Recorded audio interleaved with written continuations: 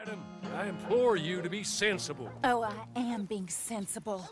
I swore I would kill them, each and every one of them. From the way I see it, I will do.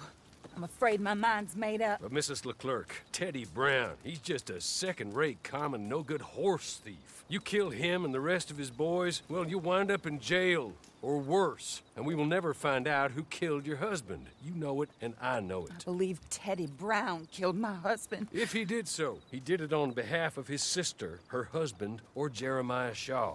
Perhaps, Besides, but he's holed up in there, besieged by marshals. marshals. What good did a marshal ever do anyone? That's why we'll send in our professionals to get the job done, and no one will know you had anything to do with it. It's too early to show your hand, madam.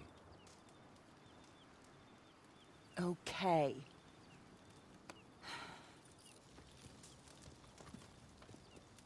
You, come with me. And remember, these are the people that put you in jail, so don't overly concern yourself with pity. Madam, stay here. Please. Get on your horse.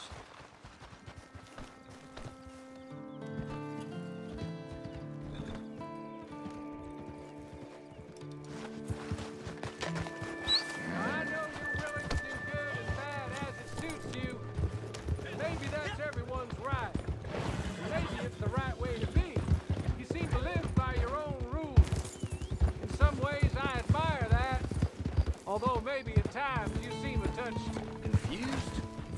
Confusing? I don't know. But I hope, either way, good, bad, or plain indifferent, after all she has done for you, that you will be loyal to my mistress. Kill Teddy Brown, not out of vengeance or righteousness, but out of duty to her, compassion for her. Thinks he got away with taking my master and taking your freedom. Show him he has it. It's what you owe. Brown has shown himself to be a desperado, more than his other three conspirators. He wears a gun on his hip like the one that shot my master. He's dangerous, and he's made himself very hard to kill.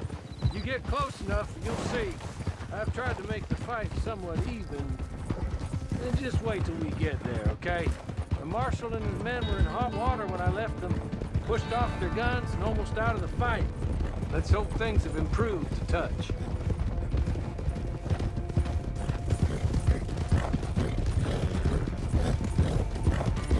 There's the ford. Up here. Come on. We're on the other side of this. How you getting on, Marshal? Well, that bastard is holed up tight as he can be. I've already had two men shot since last we spoke. That's too bad.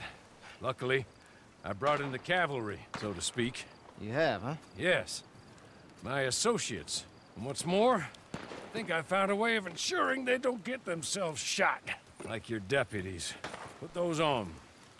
Teddy Brown is a bad man, One of the worst. but there's folk in Blackwater, powerful folk, who asked my boss to get me to leave him alone.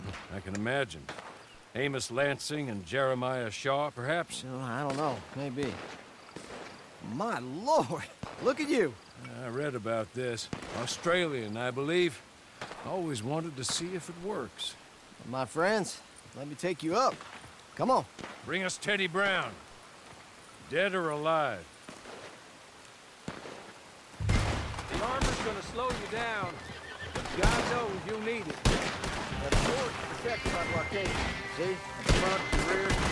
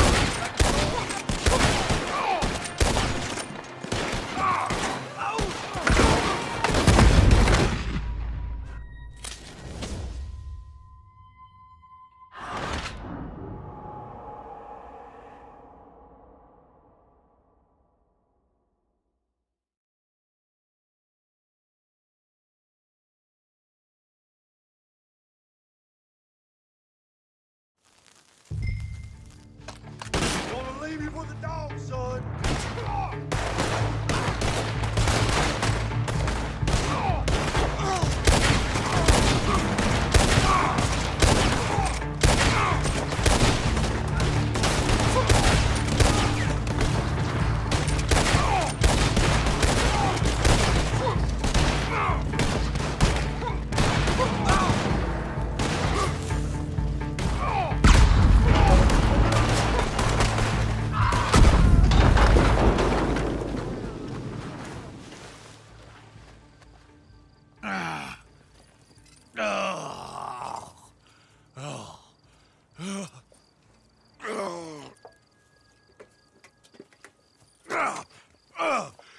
God damn you! God damn you! No! God damn you, Teddy Brown! Hello, Mrs. LeClerk. Who killed my husband? Who killed my husband? Your husband? That little milksot? Oh, I guess I imagined he was your brother. No woman would ever marry his kind. Oh. I did kill him. I did it. And he was begging for his life. Pathetic, really. Who put you up to it? Who? Lady, that's none of your damn business.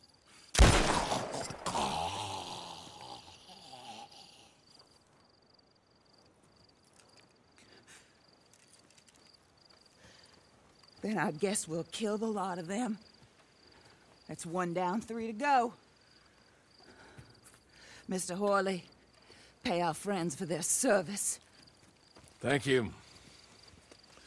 We shall be in touch.